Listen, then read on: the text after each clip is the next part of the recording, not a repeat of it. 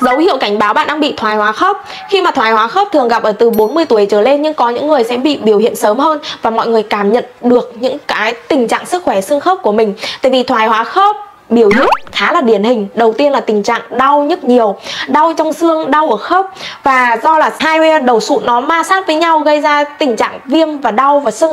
Thứ hai đó là tình trạng khô khớp. Khi cơ thể của mình càng ngày càng lớn tuổi thì cái collagen trong cơ thể nó không sản xuất được ra hoặc sản xuất ra không đủ, dẫn tới là khe khớp bị hẹp lại. Hai đầu sụn trà sát vào nhau và cái khả năng bôi trơn đầu sụn nó kém đi. Và khi mà bị khô khớp thì mọi người leo lên cầu thang sẽ phát ra những cái tiếng kêu lục cục lạo xạo trong khớp, hay là tình trạng mà cứng khớp vào buổi sáng, hay là khó vận động, đứng lên ngồi xuống nó khó khăn hơn do cái dịch nhờn không đủ để bôi trơn được đầu sụn nữa. Thứ ba đó là biểu hiện của sưng viêm.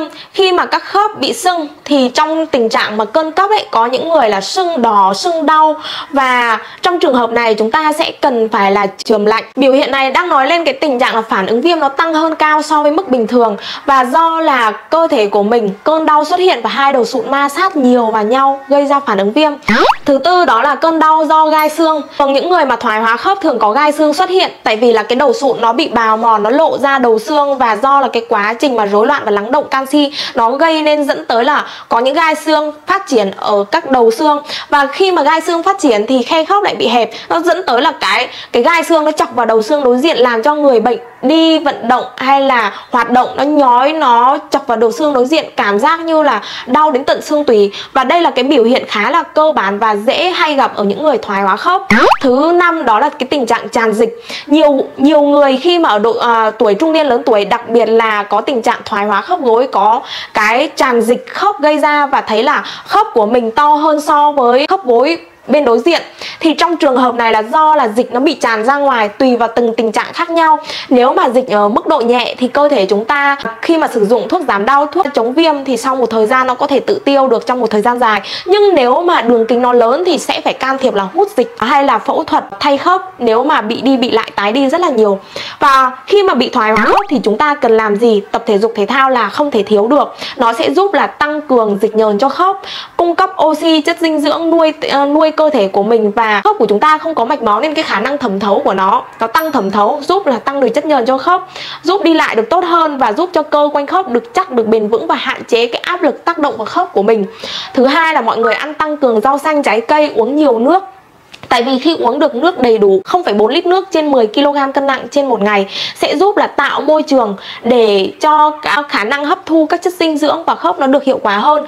Còn ăn tăng cường rau xanh trái cây sẽ giúp cung cấp vitamin C và các chất chống oxy hóa. Nó giúp là làm bền và làm chậm quá trình lão hóa cơ thể. Từ đó, vitamin C nó còn tăng cái mà tổng hợp ra collagen cơ thể. Và collagen là một trong những thành phần không thể thiếu được ở đầu sụn. Collagen chiếm 80 đến 90 phần trăm dịch nhờn của khớp. Thế nên những ai mà đang bị khô khớp, viêm khớp dạng thấp, đi lại khó khăn thì bổ sung trực tiếp collagen tiếp 2 tiếp 5 tiếp 10 đó là cách tốt nhất để tăng dịch nhờn của khớp hiệu quả an toàn.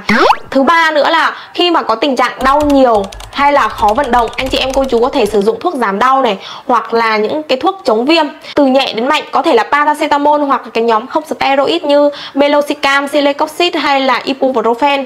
Hay là cái nhóm mạnh nhất nữa đó là thuốc kháng viêm chống viêm giảm đau. Đó là medrol corticoid cái loại này thì những cái loại này thì khi mà sử dụng thì anh chị em cô chú để ý nó có thể ảnh hưởng trực tiếp tới dạ dày gan và thận nên chúng ta chỉ sử dụng theo phác đồ của bác sĩ chứ không tự ý dùng. Thứ năm có điều kiện thì chúng ta nên tiêm khớp. Cái này bác sĩ Trang cũng nói khá là nhiều lần. Tiêm khớp là một trong những cái cách mà cung cấp dịch nhờn cho khớp. Tức thì lúc đó phải là tiêm HA, tiêm tế bào gốc, tiêm huyết tương dầu tiểu cầu tự thân hay là tiêm collagen. Nhưng phải có điều kiện thì mới nên tiêm. Tại vì nó cực kỳ tốn kém tiền không phải vấn đề thì những người đó nên tiêm. Và khi mà tiêm thì phải đến được các cơ sở uy tín lớn bệnh viện lớn mới tiêm được. Tại vì tiêm cái này là tiêm dưới hình ảnh của siêu âm chứ không phải là cứ thích là tiêm được. Thứ sáu đó là chúng ta bổ sung những cái dưỡng chất cần thiết cho cơ thể. Bổ sung những dưỡng, dưỡng chất cần thiết cho cơ thể khi đang bị khô khớp đó là glucosamine. Nó sẽ làm cho hạn chế cái sự bào mòn đầu sụn nó sẽ tăng cái độ gọi như là bôi trơn của đầu sụn. Thứ hai nữa là omega 3 nhuyễn thể nó sẽ giúp tăng được trực tiếp cái mà giảm đau và à, giảm cái phản ứng viêm lên đến khoảng 27 đến 30 phần trăm liền. Thế nên là những người mà bị tình trạng viêm khớp dạng thấp hay là thoái hóa khớp hay khô khớp bổ sung cái omega 3 ấy, sẽ thấy là ồ, cơn đau nó nhẹ nhàng hơn sưng viêm nó giảm dần dần dần dần.